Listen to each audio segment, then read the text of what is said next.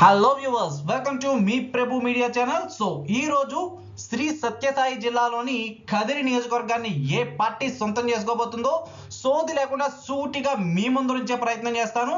కానీ మీరు నాకు చేయాల్సింది ఒకటే ఛానల్ని సబ్స్క్రైబ్ చేసుకుని వీడియోని లైక్ చేయండి. అంతేకాదు వీడియోని చివరి వరకు చూడండి. అప్పుడు మాత్రమే వీడియో అన్నది మీకు క్లియర్గా అర్థమవుతుంది.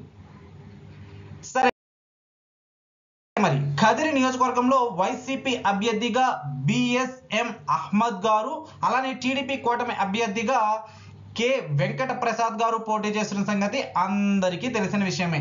అయితే మరి ముఖ్యమైన విషయం ఏమిటి అంటే రెండు వేల పంతొమ్మిదిలో ఈ కదిరి నియోజకవర్గంలో వైఎస్ఆర్ సిపి పార్టీకి చెందిన అభ్యర్థి ఇరవై ఏడు వేల రెండు వందల నలభై మూడు వేల ఓట్ల మెజారిటీతో ఇక్కడ గెలుపొందారు.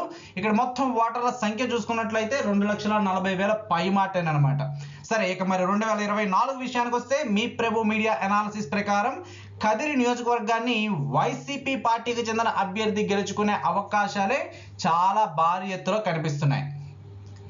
ఇక. ఆంధ్ర రాష్ట్రానికి సంబంధించి నూట డెబ్బై ఐదు నియోజకవర్గ సర్వే రిపోర్ట్స్ మీకు ఎవ్రీ ఫిఫ్టీన్ మినిట్స్కి ఇందులో అప్లోడ్ చేయడం జరుగుతుంది.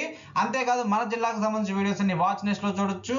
అండ్ మన ఆంధ్ర రాష్ట్రానికి సంబంధించిన వీడియోస్ అన్ని మై సజెషన్లో చూడొచ్చు. ఇవన్నీ నోటిఫికేషన్ రూపంలో మీ మొబైల్లో పొందాలి అంటే కనుక ఛానల్ని సబ్స్క్రైబ్ చేసుకుని వీడియోని లైక్ చేయండి. Thank you